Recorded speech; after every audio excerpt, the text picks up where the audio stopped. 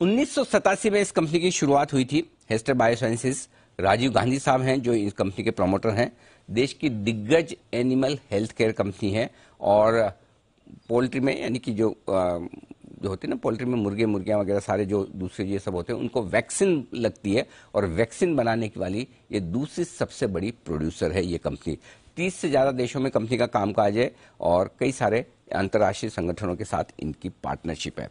आइए हमारे साथ कंपनी के मैनेजिंग डायरेक्टर और सीईओ राजीव गांधी साहब कार्यक्रम में शामिल हो रहे हैं, जिन्होंने मुंबई यूनिवर्सिटी से कॉमर्स में ग्रेजुएशन किया और उसके बाद उन्नीस सौ पचासी में मुंबई में एनिमल हेल्थ प्रोडक्ट के डिस्ट्रीब्यूशन के लिए उन्होंने अपनी कंपनी की शुरुआत की और उसके बाद से इस कंपनी को इस मुकाम तक पहुँचाया है हेस्टर बायो को। जिस वजह से हमने बुलाया है गांधी साहब को बातचीत करने के लिए, वो ये कि बर्ड फ्लू का प्रकोप थोड़ा बढ़ता हुआ नज़र आ रहा है। पहले यूरोप में, एशिया में और अब भारत में भी कुछ ऐसे मामले सामने आते हुए दिख रहे हैं। राजीव गांधी साहब बहुत बहुत धन्यवाद सर समय देने के लिए। स्वागत है आपका जी बिज़नेस पर। पहला सवाल तो यही पूछना चाहता हूँ कि आपकी कंपनी का बिज़नेस मॉडल एक बार बताएँ कि किस तरह का कारोबार आपकी कंपनी करती है और बर्ड फ्लू के बढ़ने से क्या किसी तरह के आपके कारोबार पर असर पड़ता है, क्या आपके वैक्सीन बढ़ते हैं, ज़्यादा बिकते हैं? ये जरा कोरिलेशन समझाइए सर। नमस्ते जी। नमस्ते। आ, हमारी कंपनी हेस्टर बायोसाइंसेज कई प्रकार के एनिमल वैक्सीन बनाती है। पोल्ट्री कैटल शीप गोट और स्वाइन ये सब स्पीशीज के डिज़ीज़ के अगेंस्ट हम लोग वैक्सीन बनाते हैं। ज़्यादातर हमारा पोल्ट्री में इंडिया में around thirty thirty five percent market share share है और जो हमारा टोटल सेल्स है, उसमें पोल्ट्री वैक्सीन का भी प्रभाव कई हद तक ज़्यादा है around sixty five to seventy percent poultry vaccine के अलावा अभी government of India brucella vaccine और immunisation programme PPR vaccination in sheep and goat immunisation programme जो उन्होंने चालू किया है, यह भी वैक्सीन हम लोग मैन्युफैक्चर करते हैं और सप्लाई करते हैं। अब बात आई बर्ड फ्लू की। बर्ड फ्लू एक डिज़ीज़ है जो हर कुछ मतलब एक साल में एक बार या कुछ महीनों या दो दो साल में एक बार कुछ आते रहता है, उसका रेजरेक्शन होता है, फिर वापस डाउन हो जाता है। इंडिया में एनिम बर्ड फ्लू के वैक्सीन डायरेक्टली बनाने की पाबंदी है। हम लोग नहीं बनाते, कोई भी कंपनी बर्ड फ्लू का अभी वैक्सीन नहीं बनाते हैं।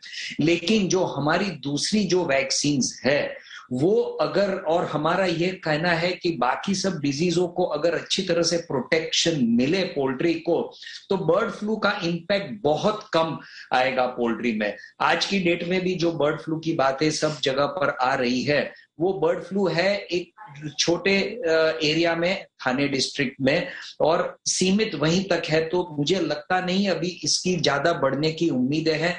अगर बढ़ने की उम्मीदें भी होगी, अगर पूरा अच्छा वैक्सीनेशन होगा तो इस इसका मतलब इतना कोई बड़ा भारी कम नुकसान नहीं होगा। ये एक हवा में बात आ रही है कि बर्ड फ्लू है तो फिर वैक्स चिकन मत खाओ, अंडे मत खाओ, लेकिन वो उसी की वजह से ये थोड़ा डर है, बाकी और कुछ नहीं है जी।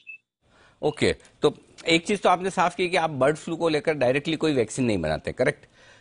यस हम लोग डायरेक्ट नहीं बनाते लेकिन जो दूसरी वैक्सीन है हम्म। उसके अगेंस्ट इम्यूनिटी अगर अच्छी है तो बर्ड फ्लू आने की संभावना बहुत कम हो जाती है हम्म। और बर्ड फ्लू के कभी भी बाउट आता है तो बाकी वैक्सीन के तो, सेल डेफिनेटली काफ़ी बढ़ तो, जाते हैं हाँ, तो क्या सर ये बर्ड फ्लू की वैक्सीन कोई इंडिया में इम्पोर्ट भी होती है इम्पोर्ट भी नहीं होती नहीं इंपोर्ट भी नहीं होती और बनाते भी नहीं है ओके आज की डेट तो इसका मतलब क्लियर है कि जब भी बर्ड फ्लू आएगा तो आपकी जो वो दूसरी इम्यूनिटी बढ़ाने वाली वैक्सीन है उसकी सेल्स बढ़ती है। ऐसा कोई इंडिकेशन अभी भी आ रहा है? अभी भी कोई ऐसे हाँ, अभी भी अभी भी इंडिकेशन यही आ रहा है और लास्ट ईयर भी हमारा Q Q two Q three Q four का अगर आप सेल्स देखेंगे काफ़ी बढ़ोतरी हो गई थी। वो मतलब वैसे तो कोविड की वजह से सब कुछ डाउन था लेकिन हमारा सेल लास्ट ईयर भी बहुत काफ़ी था बर्ड फ्लू आने की वजह से। और अभी भी थोड़ी संभावना दिख रही है कि बर्ड फ्लू की वजह से थोड़ा सेल बढ़ेगा। ये सर आ, कितना रेवेन्यू आपका हमारे हिंदुस्तान के मार्केट से आता है कितना आप एक्सपोर्ट करते हैं? बाहर का रेवेन्यू कितना है? हमारा बाहर का रेवेन्यू करीबन 12 से 14 परसेंट का है। बाकी पूरा इंडिया में ही है। वैसे तो हमने काफ़ी ज़ोर लगाया था इंटरनेशनल मार्केट में, लेकिन जो कोविड की वजह से पूरा international air travel, transport, cargo सब बंद हो गया था तो फिर हमने पूरा डाइवर्ट करके हमने इंडिया में हमारा सेल बढ़ाने का एक फोकस और कंसंट्रेशन किया। इसके लिए ये परसेंटेज ऐसे है। बिल्कुल, ठीक बात है। गांधी साहब बहुत बहुत धन्यवाद सर आपका। हमारे लिए वक्त दिया और आपने पूरा ये मामला समझाया, नहीं तो हम तो अभी तक यही समझ रहे कि बर्ड फ्लू की यही वैक्सीन बनती है, यही लगती है और आपकी कंपनी बनाती है। आपने बहुत अच्छे से समझा दिया कि किस तरह से क्या होता है। तो thank you so much sir आप समय देने के लिए धन्यवाद आपका।